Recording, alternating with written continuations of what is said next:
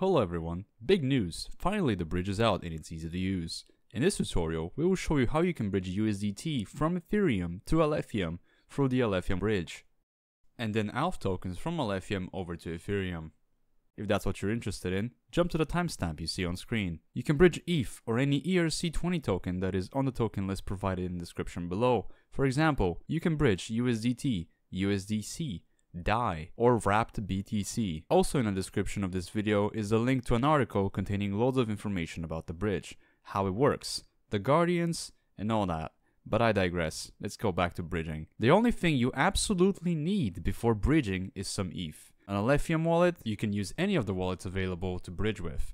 But we chose to show that it's easy to use with the mobile wallet. For the case of this video, let's say you want to bridge 100 USDT over to the Alephium blockchain. To do so, first head on over to bridgealephium.org.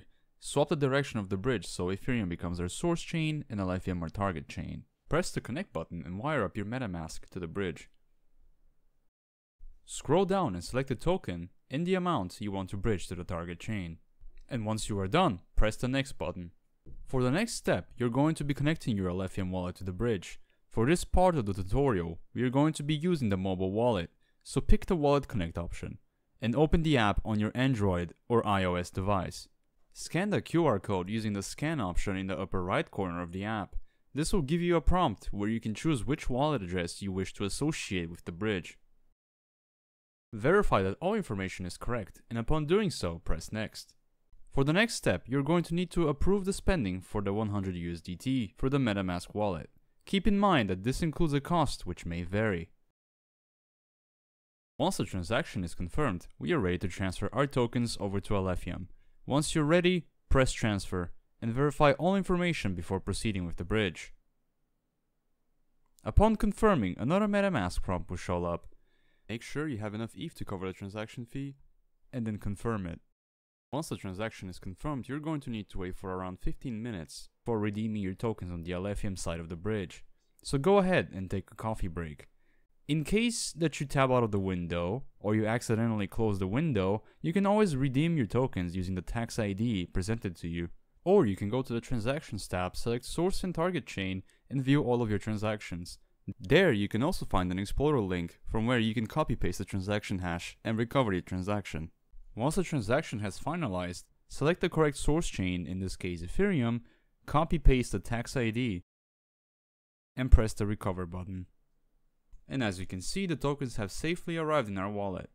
If we go over to the mobile wallet now, the tokens should be there. For this next part of the video, we're going to be bridging 100 ALPH over to the Ethereum blockchain. Doing it completely inverse this time, we want our source chain to be Alephium and target Ethereum. This time we're going to use the web wallet in order to bridge our tokens instead of the mobile one.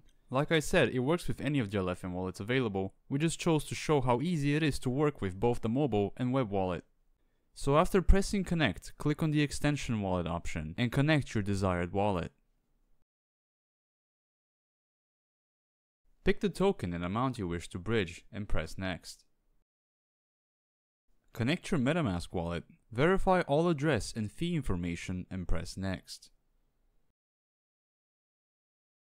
Once you're ready, press the transfer button and a prompt will show up. Make sure to verify all information before confirming.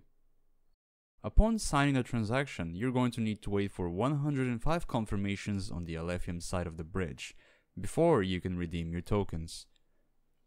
Make sure, once again, to copy the tax ID somewhere safe as 105 confirmations takes a little less than 2 hours. 105 confirmations are in place for security reasons and we ask of you to be patient. Upon returning from your wait and going back to the website, head on over to the Redeem tab and copy and paste your tax ID into the field with the Alephium chain selected as a source.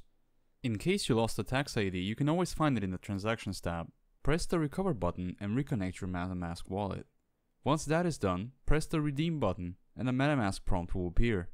Confirm the transaction and soon enough your tokens will appear in your MetaMask wallet. If they don't, make sure you press the add to MetaMask button in order to add ALPH to your token list.